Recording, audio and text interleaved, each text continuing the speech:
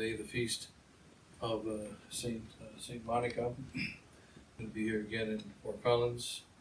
There's a few considerations this morning here. There's something that goes to them.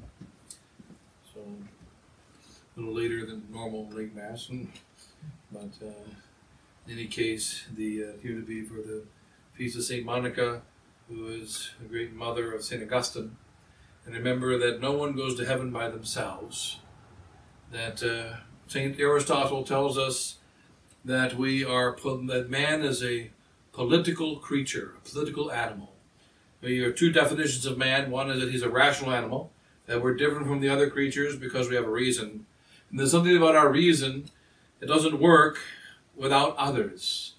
You know, that we have a perfect mind, but if you take your perfect mind and you put it out in the woods and you're raised by the, the wolves, like Romulus, Romulus and Remus were, but then they were taken away from the wolves when they were very young. So they were raised by the wolves when they were very young, so that was okay. But then they were taken away from the wolves and raised, and they were fine. But there are some that they're raised with the wolves and they're in raised with the animals. They never hear.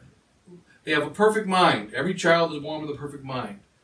But there's something about our minds and something about our human nature that we can't be anything human. We can't be anything what we are without our neighbors, without others. Hence, uh, hence Aristotle says we're political animals. So if you were raised with a perfect mind, you have a perfect mind, every man has a perfect mind, but you're raised without any communication with other human beings. You never hear a single word spoken in your life. You never learn how to speak from anyone else. You only see the world around you. You will not be able to be fully and truly human. You'll never be able to fully and truly understand, even though your mind is perfect and your eyes are perfect and you can see the things around you. It's not that way with the animals. If you take a dog and live and leave him by himself, he doesn't get lonely. He doesn't need to see a counselor. A dog knows how to be a dog, whether he's with other dogs or not. Sheep know how to be sheep, whether with other sheep or not. And cats know how to be cats, whether they ever see another cat or not. They just are what they have it inside their, but we human inside themselves what they are. The human beings, we need others. When we're born, we are we have a perfect mind, but what must happen? There must someone must speak language to us. We learn our language. We speak English because it's the language given to us by our families, given to us by our country. And then we have a faith that is the true faith by which we understand the world around us. We can see and understand, but we need to be able to hear. We need to be able to interact with others. And this is also true in the supernatural life. I want to know God, I want to love God, and I want to serve God, and I want to go to heaven. Can I do it on my own? No, I cannot. There must be someone to help me. Someone has to teach me the faith. That's why our Lord Jesus Christ, or the Holy Ghost rather, said to St. Paul, Fides ex auditu. Faith comes by hearing in Romans chapter 10. Faith comes by hearing. But how can there be hearers hearing of the Word of God unless there be preachers to communicate that Word of God? And how can there be a preacher unless he's sent by God? And so there's a communication in a family, and there's a communication in a society. St. Augustine is the greatest of the fathers of the church. How did he become the greatest of the fathers of the church? St. Augustine lived back in the 300s, late 300s, early 400s. He was a great bishop of Hippo in Africa. He was the greatest teacher of the faith of the first five, first thousand years of our church. But he began as a heretic. And he began as a one who hated God. And he lived out, he lived with a woman and that child out of wedlock, and, it, and he lived in sin. And it, what happened to him, however, Monica, his mother, and Ambrose the bishop, Saint Ambrose and Saint Monica, they prayed for him St. Ambrose preached the true word of God and helped him to overcome the heresy. He heard Ambrose preach, he heard St. Ambrose speak, and he talked to St. Ambrose, and St. Ambrose explained to him how the heresies that he believed in, the Manichaean heresies and so on that he believed in, were all baloney, and how he, he could understand that. And Monica had to pray and weep. Now, how is it possible for us to go to heaven? There must be souls praying for us there must be souls uh, uh, sacrificing for us. There must be souls teaching us. How do I get the faith? It's passed down by mouth, by mouth, by mouth, from the time of the Lord Jesus Christ all the way down 2,000 years. How do I learn the customs? Someone has to take the hand and teach me how to make the sign of the cross. The mother taught me how to make, mother taught me how to make the sign of the cross. I have to learn from others how to be a Catholic. Just like I must learn how to eat and how to speak and how to work how to live as a human being in society from the people around me. So we also need people around us for the faith. And that is the reason why the church sends out missionaries to the ends of the world, so that we will carry the faith that's given to us by God, given to us by our ancestors, and then we carry it to the other people on the earth who don't have it.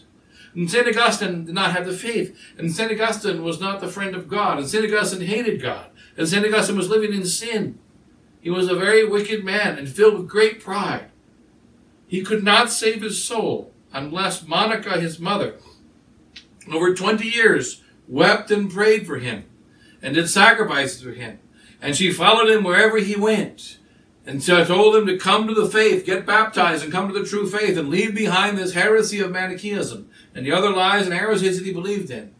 And then she finally got him to go to St. Ambrose. And Ambrose preached the truth and word of God. And then Augustine converted. And then Augustine repented. And then Augustine became uh, left behind the woman that he was living with, and then he went and he became a bishop of the church. And he became the greatest of the bishops of the first centuries of the church. And he became filled with the sanctity and filled with God. But how is it possible to be filled with God? We need souls. We're in this battle together as Catholics. We're in this battle of the world fighting to spread our faith. And it can't be spread unless someone helps me spread it. It can't, I can't learn it unless someone teaches it to me. I can't do good unless someone helps me to learn to be able to do good. I need others. And St. Monica is the great saint who became a saint because she made Augustine a saint. And Ambrose was a great saint, a great teacher, and a great bishop, and a great father of the church. But his greatest glory of Ambrose is that he made Augustine a saint. And each one of us, we are to live a life uh, in this world, and what are we supposed to do? Do like Ambrose did, the great St. Ambrose, and do like St. Monica did, and make others saints. Speak to others about Christ. And how did I receive Christ? It was given to me by another. I am not alone. I didn't learn about Christ all by myself.